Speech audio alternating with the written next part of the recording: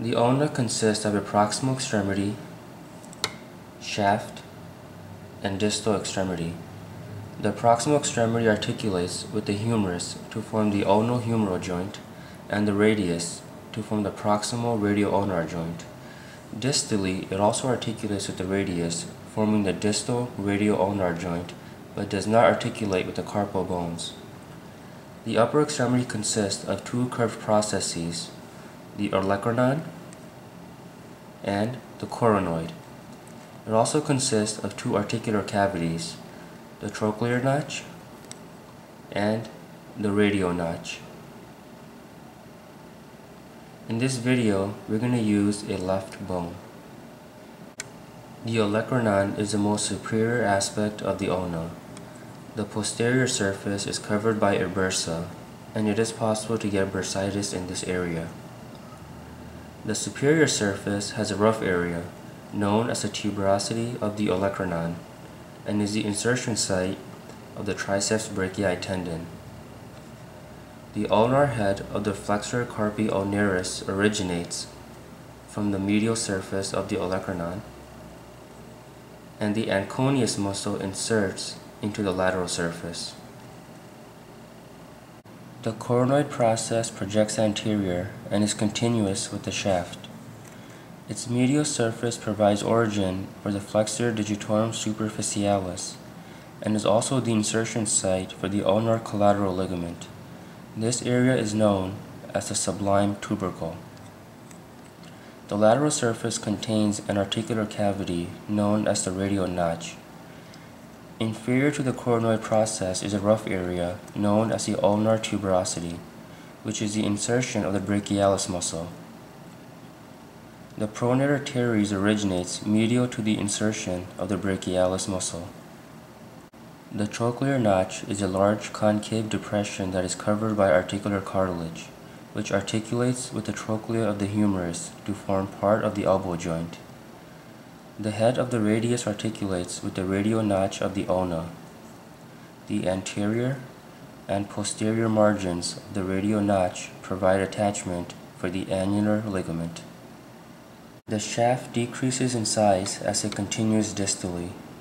The shaft is triangular in cross-section in the proximal area and becomes more circular in its distal portion.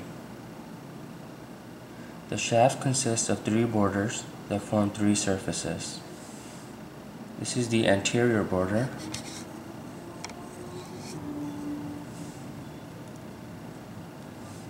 The posterior border.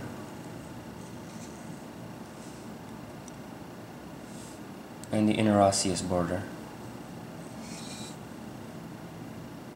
The anterior border begins at the medial aspect of the coronoid process and extends distally to the styloid process.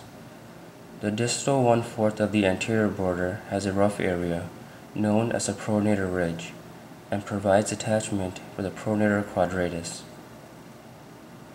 The posterior border begins at the olecranon and ends at the styloid process.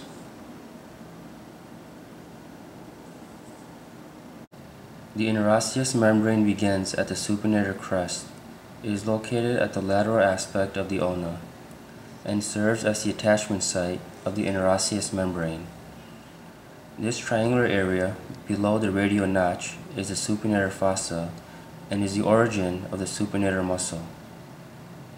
The anterior surface is located between the anterior and interosseous borders.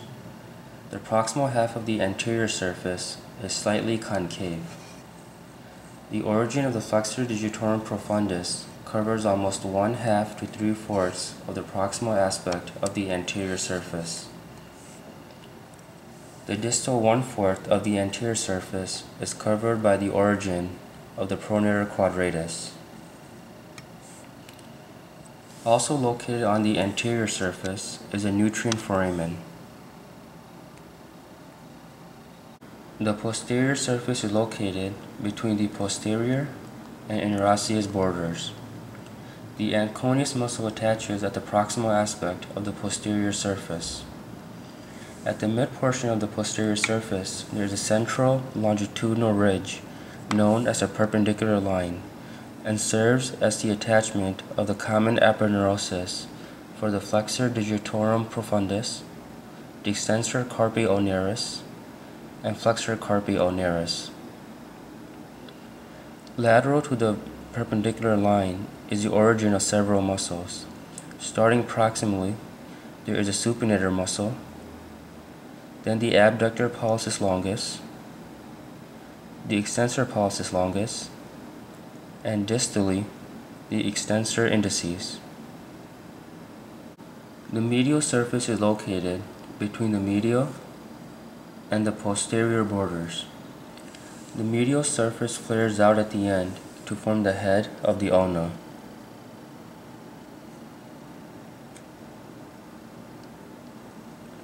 The proximal three-fourths of the medial surface is covered by the origin of the flexor digitorum profundus. The flexor digitorum profundus has a very large origin. It originates from the proximal three-fourths of the anterior and medial surfaces. The distal extremity consists of the head and the styloid process. The head is covered in hyaline cartilage at the distal and lateral ends. The distal end articulates with the fibrocartilaginous disc and therefore does not directly articulate with the carpal bones. The lateral end is known as the articular circumference and it articulates with the ulnar notch of the radius to form the distal radio-ulnar joint. Both the proximal and distal radio-ulnar joints are synovial joints of the pivot variety. Recall that the head of the radius is located at the proximal extremity, whereas the head of the ulna is located at the distal extremity. The styloid process is a distal most projection of the ulna. It is a non-articular prominence located at the posteromedial aspect of the bone and serves as the attachment of the distal ulnar collateral ligament. Lateral to the styloid process, there is a groove that allows passage for the tendon of extensor carpi ulnaris.